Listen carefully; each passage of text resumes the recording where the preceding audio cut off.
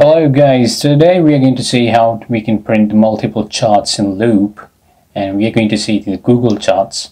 So here we have a chart you can see the data is 23% here and then we have 14% and then 20%. So this is all coming dynamically. I have an array of arrays and I'm just looping through and printing this data. So I also have this post that you can access. The link is in the description so you can read and copy the code. Everything is written in this post. So uh, let's begin and let's uh, do this.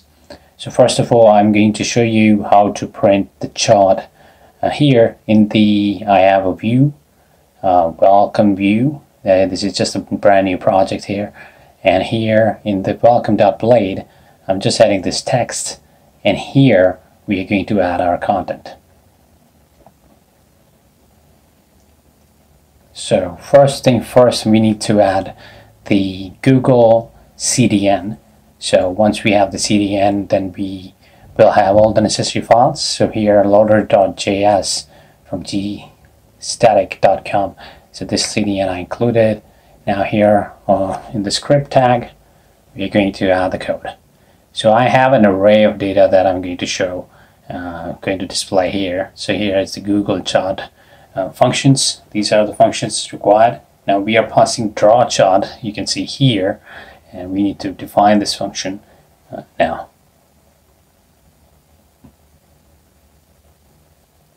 So function, draw chart, and inside it we need to define all the data and the required parameters. So I say var data google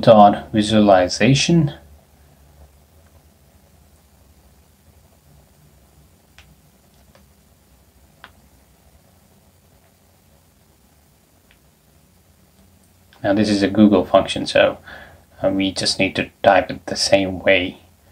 And here, inside it, we can pass the data.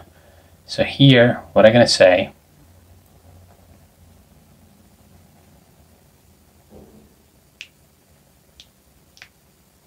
So here is the array. So the I have a data in the day and income based. So the first uh, you can see the first value is day and income. Then we have the it's a string and numbers. And we can pass the options as well. So I'm passing title and uh, we can also pass the width as well as the height in the same uh, options it needs to be under quotes so it should be width by 50 height 400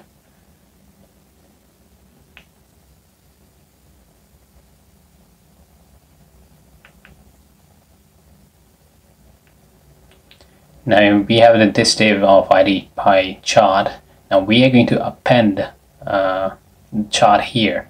So we need to bind this ID to the Google chart so that we can display there. So we say var chart is equal to new google dot visualization then dot pie chart. Here you can define if you want any other chart instead of pie or bar chart. We need pie chart, so we are going to do this. Now, inside it, we need to document dot element by ID and we are going to pass the ID in here. So I'm going to copy this I'm going to paste in here. So once we have a single chart we will see how to put print multiple charts so here chart.draw and inside it we need to pass both variables the data variable that we defined as well as the options so we have both the variables now. Now refresh. Now you can see we have our chart working. So this is how you print a single chart. So yeah, you can see match the data the Friday 890 and 23, 26 percent. It's just showing it as it should. Totally fine. So now let's uh, do this. We need to show multiple uh, charts. So we need to use uh, different code so I'm going to delete this and let me correct the spacing here now the CDN is still there and I'm going to use this these arrays so I have week 1 week 2 and I'm passing these arrays in weeks data array. You can see here that I have a single array which is having three arrays in it. So this is how. If you have data that is coming from database or any other source you need to define it something like this so that uh, Google can understand and can print it. So we have it here.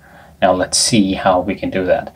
Because we need to loop through the week's data variable that we are creating here and uh, that's going to uh, print the charts for us.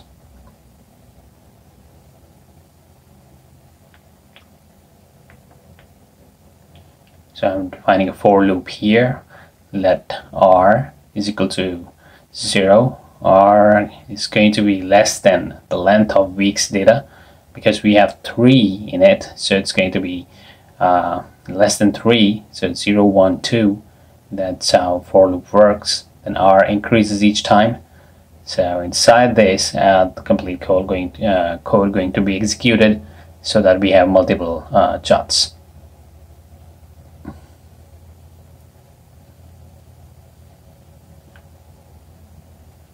Now we have pie chart ID here.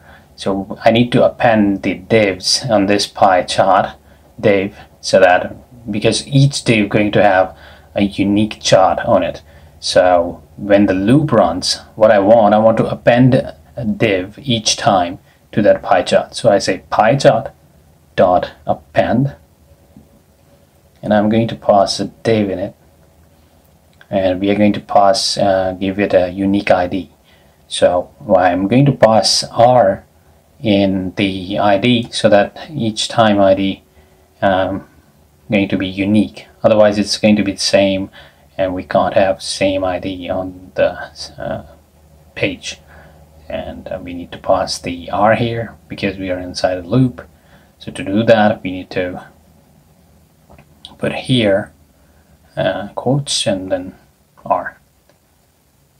Now that's it. It's going to uh, append the div for us and we can append the chart on that particular each div now google dot visual uh, sorry charts dot load. Now here current. And now we're going to set a function. It's going to be a callback function. So I'm going to define it here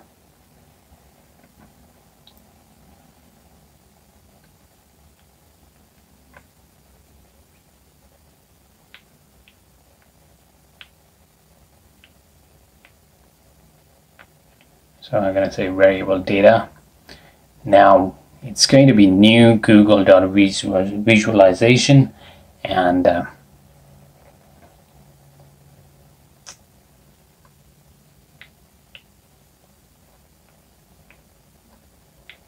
now we need to add the columns so the column is going to be the first we are passing string as days so we are going to say here uh, string. Second, you can give the name. Let's you can give any name. I say topping, just for example. Uh, doesn't matter really, um, but uh, you can. So another column going to be the number because the second value we are passing is the a number. So I say slices. That depends on data what you want really. So we need to add rows here. Add row is basically going to be the data that uh, we want to print in chart. So we need to pass the array. So we have weeks data. Now I'm going to copy and paste it here. And each time when loop runs, we need to pass R with it so that it is going to get the first value, second value uh, according to the loop. So for when it is first, it goes to first it's second, it goes to second, and when it is third, it goes to third array. And it is going to show the charts accordingly.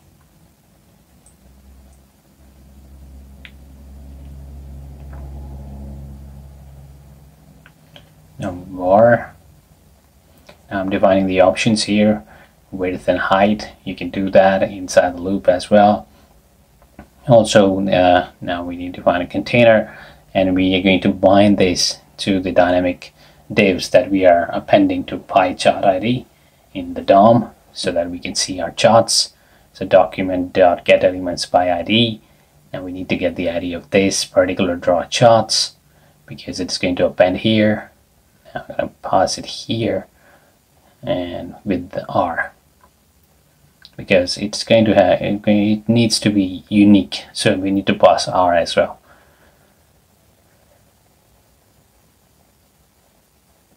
Uh, now append child. Inside a document dot. Create element and it's going to be a div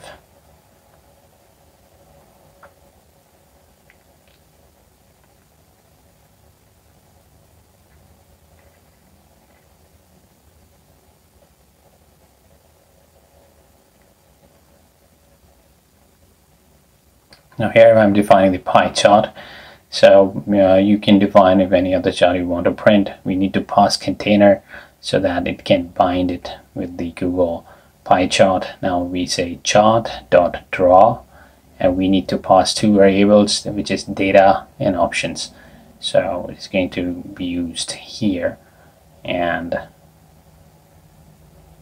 once we have it here uh, we need to pass here the packages and it's going to be uh, core chart. So you can read more about packages in the Google website. Now, uh, I forgot to close the div here. I need to close it, otherwise it will give the error. So, div. Everything looks fine now. And instead of topping and slices, we make it realistic names. So it is going to be we have days and incomes. So I say here days and here income.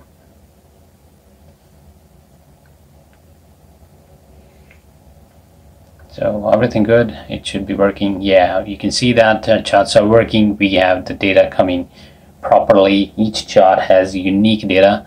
You can see that 23.9% and here it is 14% here 20% so it's changing and it is working according to the arrays. So now it is happening uh, based on the length of array. It is not like it's going to print only three.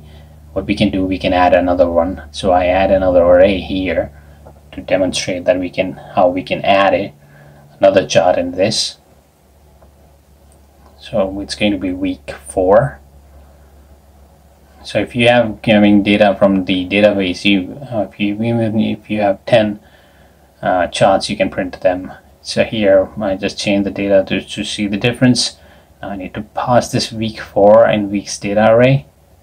Now if we refresh the page we should be having the another chart because the loop is going to add it.